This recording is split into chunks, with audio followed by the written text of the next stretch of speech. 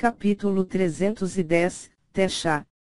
Tradução, Jingle Revisão, Reiser. Acima da gigantesca Praça Negra, três figuras calmamente desciam no centro da praça. Quando os três desceram, os praticantes de elite do culto do fantoche fantasmagórico ao redor instantaneamente se ajoelharam, antes que uma saudação ordenada e sincronizada imediatamente ecoasse. Saudações ao líder da seita, grandes anciões da esquerda e da direita. Entre os três, o homem na frente estava vestido uma túnica vermelha escura, enquanto uma mecha de seu cabelo emitia um brilho sombrio e misterioso. Ocasionalmente, quando uma brisa suave passou e levantou seu cabelo, ele se contorceu como um buraco negro, enquanto uma força de sucção fracamente surgiu. Baseado na aparência desse homem, ele parecia ser um homem de meia idade e seu rosto era excessivamente pálido. Entre suas sobrancelhas havia uma aura calma e majestosa. Contudo, a curvatura fria em seus lábios finos levou a entender que esse homem não era um Buda bondoso.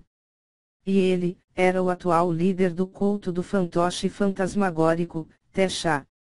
Ao lado de Techá, estavam dois anciões de cabelos brancos que tinham colocado suas mãos dentro de suas mangas. Esses dois homens idosos tinham rostos magros e secos e os dois olhos estavam fechados, dando uma impressão que estavam dormindo. Contudo, no mesmo instante, a aura aterrorizante vindas do corpo dos dois constantemente lembrava a todos que eles não eram pessoas comuns. Esses dois anciões eram os membros com as maiores posições no culto do fantoche fantasmagórico, somente atrás de Techá. Ao mesmo tempo, eram chamados de o ancião sênior da esquerda e o ancião sênior da direita. Esses dois homens eram praticantes de elite famosos na província da Grande Desolação e eles eram como o braço esquerdo e direito de Techá. Nesse momento, aquele ancião sênior da esquerda abriu suas pálpebras antes que seus olhos varressem a praça. Quando ele viu o lindo céu noturno ao redor da misteriosa montanha negra e, uma palpitação fria em seu coração flui para dentro de seus olhos escuros e manchados. Líder do clã, você tem certeza que deseja reunir todo o nosso clã inteiro para quebrar o selo que há no objeto? Nesse momento, existem várias pessoas espreitando ao redor. Baseado nos cálculos desse velho homem, a seita do diabo e a aliança marcial provavelmente devem estar escondidos aqui por perto. O ancião da esquerda olhava ao redor enquanto dizia: Não se preocupe, nessa cidade do fantoche fantasmagórico não é um lugar onde qualquer um pode entrar de acordo com seu capricho e fantasia. Uma vez que destruirmos o selo contido dentro, eu posso rapidamente ascender ao estágio Nirvana. Nesse momento, mesmo em toda a província da Grande Desolação, até mesmo em todo o grande Império Yan, dificilmente haverá alguém que possa se igualar a mim. Tesha balançou sua cabeça. Baseado em seu tom, parecia que ele não estava muito preocupado. Agora que todos os praticantes do culto do fantoche fantasmagórico estão reunidos aqui, com relação até lei, podemos ser incapazes de continuar a procurar por ele. O ancião da direita também abriu sua boca e disse: O destino selado de Leir ainda está para ser quebrado. Portanto, ele ainda deve estar vivo. Enquanto eu puder destruir o selo contido dentro daquele item, eu serei capaz de sentir exatamente a localização de Leir. Com relação àquela criança chamada Lindó, nessa hora, esse líder da seita irá ter certeza que ele irá pagar de volta mil vezes. A voz de Tesha era calma. Parecia que ele não estava nem um pouco enfurecido com o fato de Telei estar nas mãos de Lindó. Evidentemente, ele era um homem extremamente intrigante.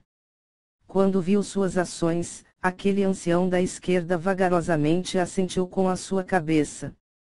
Ele entendeu que apesar de Tesha amar Telei, nesse momento, em seu coração, o assunto mais importante era quebrar o selo. Está quase na hora. Teixá levantou sua cabeça e olhou para o céu escurecendo. Então, ele de repente estendeu seu braço, antes dele lentamente o balançar. Sua voz calma claramente ressoou nos ouvidos de cada praticante de elite do culto do fantoche fantasmagórico, formem a formação dos nove demônios fantasmagóricos.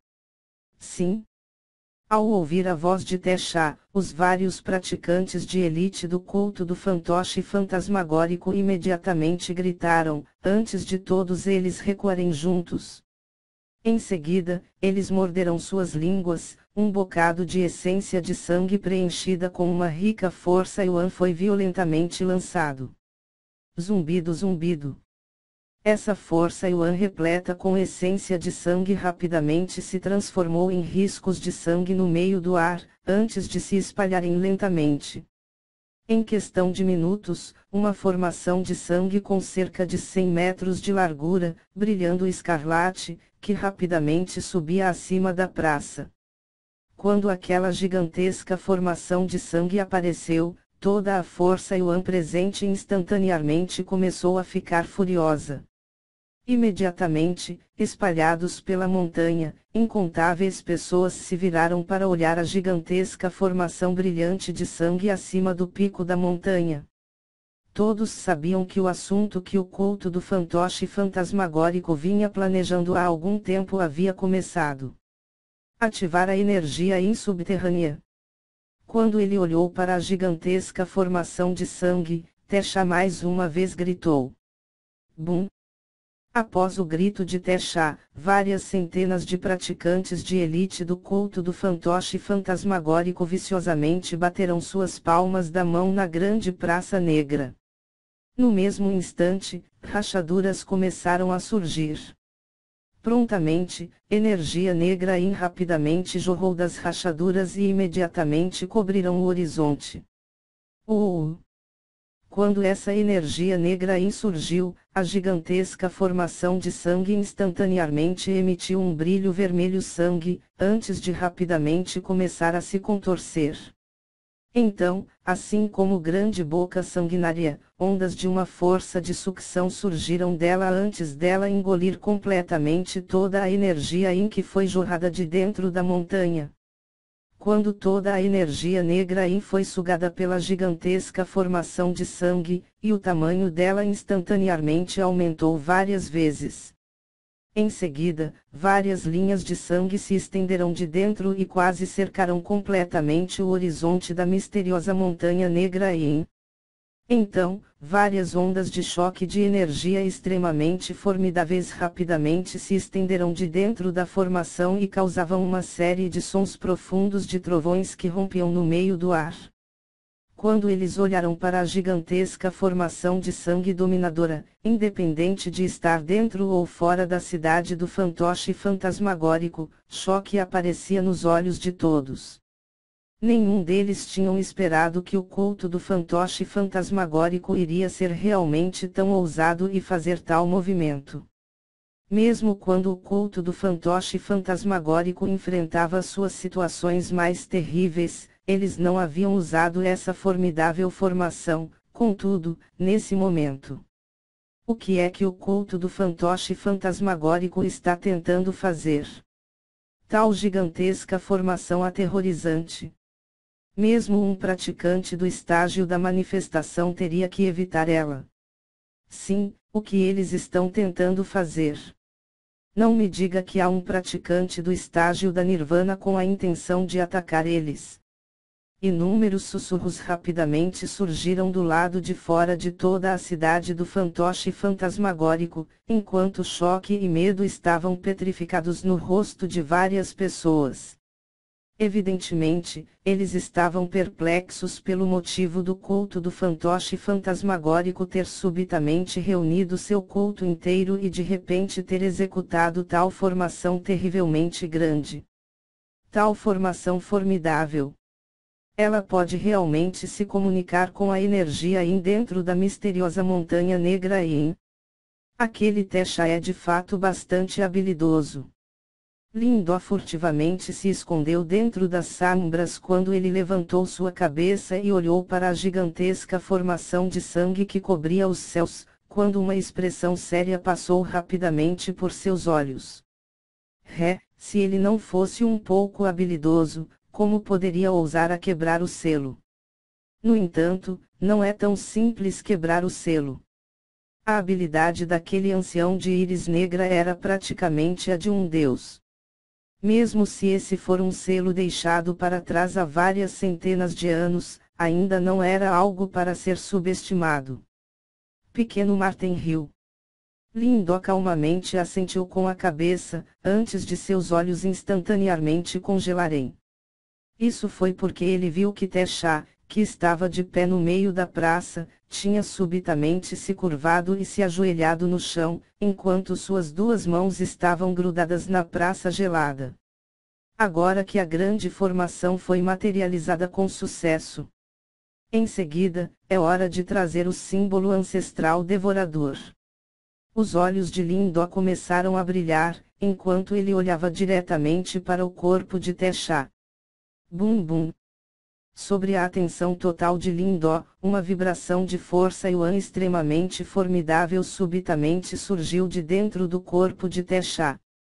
Então, o brilho da força Yuan ondulante em sua palma de repente ficou mais forte, antes dele bater violentamente contra a praça. Depois que ele bateu a palma da sua mão, toda a montanha parecia ter estremecido. Em seguida, uma força excessivamente maligna e engenhosa emergiu da palma da mão de Techa como uma teia de aranha. Logo depois, o centro da praça instantaneamente se desintegrou, quando um gigantesco buraco negro apareceu na frente dos olhos de Lindó. No momento em que o buraco negro apareceu, o símbolo do destino da alma dentro do palácio Niuan de Lindó começou a vibrar energeticamente. Ao mesmo tempo, Lindó começou a sentir uma antiga e grandiosa sensação saindo furtivamente de dentro do buraco negro. Essa sensação, é de fato o símbolo ancestral devorador. Pequeno Martin também sentiu aquela sensação antes dele rapidamente ficar animado. Então, um profundo rugido animado soou dentro do coração de Lindó. Zumbido zumbido. Na gigantesca praça, um pequeno tremor emergiu. Contudo, sob os olhares dos inúmeros praticantes, um brilho negro de repente saiu de dentro do buraco. Imediatamente, aquele brilho começou a se erguer lentamente antes dele finalmente pairar logo abaixo da gigantesca formação de sangue.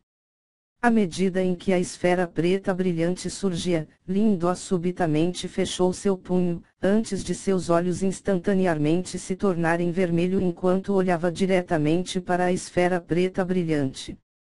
Aquela esfera preta brilhante tinha aproximadamente 10 metros de largura, enquanto o brilho negro estava espalhado ao seu redor. No entanto, através dessa luz brilhante, Lindo ainda pôde brevemente perceber que na região mais profunda daquela esfera brilhante, havia um antigo símbolo do tamanho de um crânio pairando silenciosamente dentro dela. O símbolo continha um aroma antigo indescritível. Mesmo a fragrância do palco ancião era incapaz de se comparar a esse. O símbolo ancestral negro estava escondido dentro da região mais profunda daquela esfera brilhante, como se tivesse caído no sono. Contudo, quando o símbolo ancestral começou a vibrar, ele se transformou em vários buracos negros, enquanto uma vibração aterrorizante que podia consumir qualquer coisa era liberada constantemente e causava mudanças nos céus. Símbolo ancestral devorador. Desde que Lindó tinha usado muita força, suas unhas começaram a cortar sua palma. Seus olhos encaravam fervorosamente a esfera negra brilhante. Para obter esse item, ele havia trabalhado sem parar e viajado cuidadosamente da cidade à província da Grande Desolação e até invadiu o domínio do palco ancião. E enfim, ele finalmente havia encontrado esse objeto lendário. Haha, Lindó, se não estivermos enganados, esse é de fato o símbolo ancestral devorador. Uma vez que você obtenha ele, no futuro, você se tornará um lendário praticante de classe mundial. Pequeno Martin estava evidentemente extremamente animado enquanto sua risada louca continuava a soar dentro do coração de Lindó. Ramph. Enquanto ele respirava profundamente, Lindó tentou seu melhor para controlar suas emoções. Apesar de tudo, essa era a sede do culto do fantoche fantasmagórico e haviam três praticantes genuínos do estágio da manifestação por perto. Se ele fosse se revelar, ele provavelmente não teria a oportunidade de escapar. Sendo assim, ele não se permitia ser descuidado. Seu peito ofegante começou a levemente a se acalmar. Em seguida, Lindó se virou para olhar o espaço à frente. Agora, ele finalmente percebeu que havia inúmeros fios pretos se estendendo pelo brilho negro. Assim como as inúmeras veias de sangue, elas pareciam selar aquele símbolo ancestral profundo que estava lá dentro. Este era o selo deixado para trás por aquele ancião de íris negra. Assim, enquanto Lindo encarava a esfera negra brilhante, ele subitamente viu um brilho vermelho se espalhando de dentro da grandiosa formação de sangue. Imediatamente, seu coração se tornou frio enquanto ele prontamente fechou fortemente sua palma da mão. Ele sabia que Tesha estava prestes a quebrar o selo.